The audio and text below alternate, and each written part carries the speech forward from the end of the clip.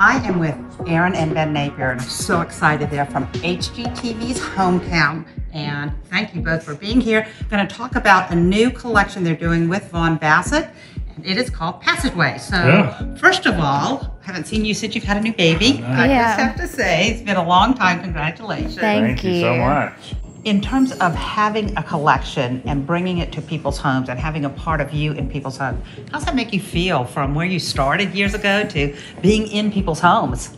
It's weird. It is It uh, weird. I mean, it is a, a really wonderful, It's a big honor. weird thing. Yeah, I've been um I'm writing a lot lately and thinking about what home means and the objects that we surround ourselves with become part of the fabric of our life, you know? And it's what it's you know, if you buy a Vaughan Bassett bed, then that might be the bed that you're still sleeping on 20 years from now. It just becomes a part of your life and the scenery of it every day. Our homes are more than just a beautiful showplace. That's not what home is. Home doesn't look like this, right?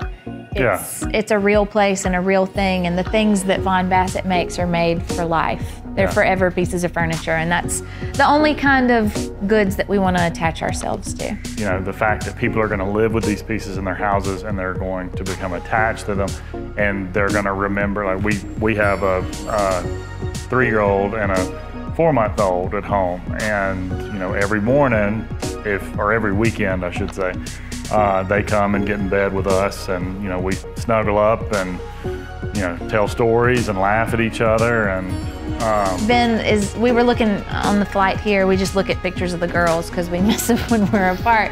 And there are so many pictures of the four of us in bed, snuggled up in the morning, and those are going to be such precious memories. It's just cool that those are the things that we get to make and be a part of. How do you suggest consumers make what you do feel like what you do in their home? Because I know it's about you, but you know, people just go, I want that, but that's you, not them. I don't know that you can because for us, home is such a personal thing.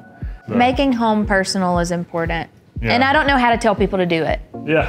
I don't, I have to get to know people really well through a whole lot of questions. And uh, that's how we design houses on Hometown is I got to know what makes you weird because weird is kind of wonderful.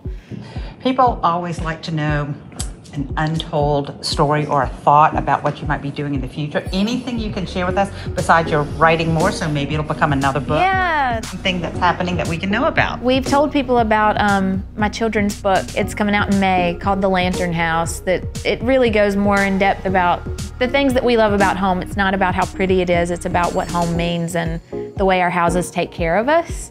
And it's a story about generations growing up in a house and the ways that house is a watcher and a keeper of the people inside. It's written from the point of view of the house. Yeah. And So that'll be coming out in May.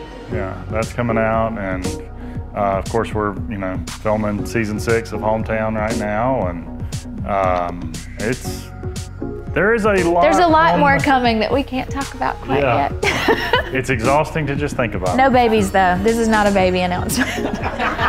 we have plenty of babies right now. I get it. One last question is about you love to use um, recycled pieces or mm-hmm. bring old into it. But one of the things that we in the furniture industry want to do is have people buy new furniture. Mm-hmm. So can you talk about that mixture of bringing old and new together?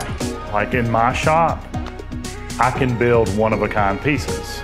The thing that makes reclaimed wood or the wood that I build with in my shop so special is that it is imperfect and it's perfectly imperfect. That's what people love about is the, the nail holes and the knots and the cracks and because it, it gives a little bit of, of a story and that's what people are like. I mean, if you um, people have you know problems and scars and, and so we connect with that on a personal level when we see it and I could really do a deep dive right now and nerd out on this. And another way of talking about it is to have a mix of old and new things in your home is the only way to make it feel really lived in and layered, I think. Our house is a mix of antiques and new pieces, and I think that's the best way to make a house feel really well curated and lived in.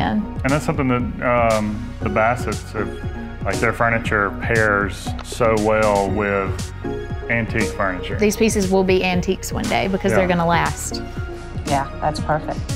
Well, I'm excited that um, y'all have joined me at Yeah, the absolutely. High Point Showroom and taken some time away from the children. So thank you very much. Thank you for having us. Thank Yeah. you very much. Again, Ben and Erin Napier.